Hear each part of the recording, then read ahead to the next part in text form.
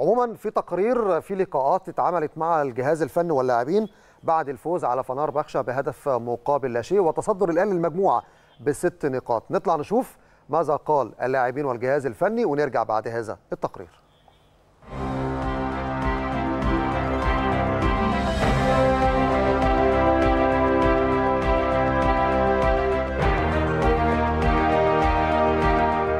الحمد لله بحمد ربنا بشكر فضله على الفوز الثاني وإن شاء الله بإذن الله نكمل البطولة ونكملها على خير ونحصل عليها إن شاء الله بإذن الله زي السنة اللي فاتت. أنا مبسوط من روح عودة الروح ثاني لفريق 2007 وده امتداد لماتشات الدوري. إحنا كنا ماشيين بشكل كويس الحمد لله رب العالمين فاضل لنا ماتشين ونحسم بطولة الدوري إن شاء الله بإذن الله.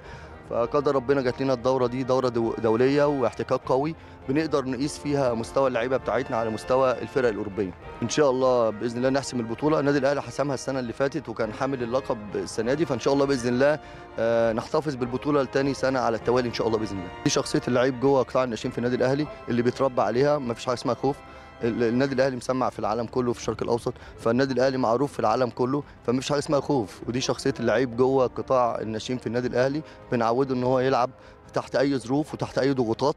والحمد لله رب العالمين اللعيبة كانوا رجالة النهارده وإن شاء الله بإذن الله نكمل على خير. الحمد لله النهارده كسبنا الماتش الثاني على التوالي والحمد لله صعدنا للدور اللي بعد كده.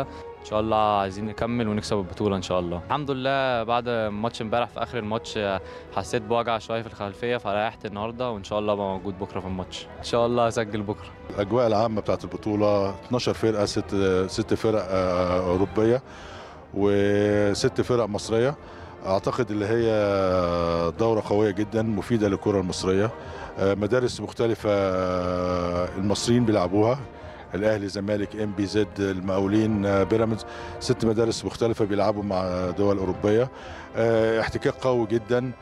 فرصة كمان لجهاز مواليد 2007 اللي هو يتفرج على الدورة يمكن متواجدين. وأنا متواجد بصفة مستمره برضو عشان يبقى فيه اختيارات قوية بالنسبة لنا. مستوى البطولة عالي جدا. 12 فرقة مش سهلة.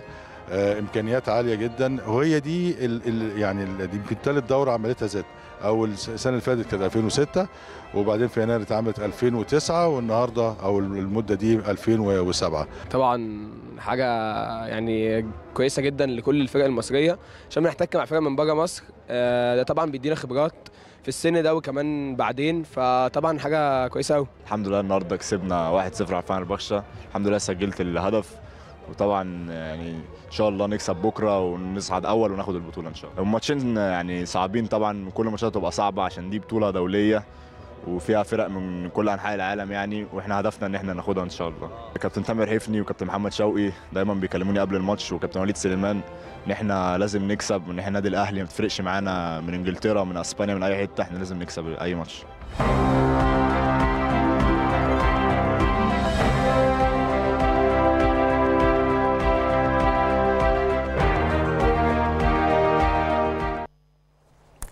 طبعا تقرير مهم جدا مع نجوم ولاعبي قطاع الناشئين مواليد 2007 ولسه المشوار طويل ولسه الأحلام والطموحات أكتر في الفترة اللي جاية. المهم الاستمرارية.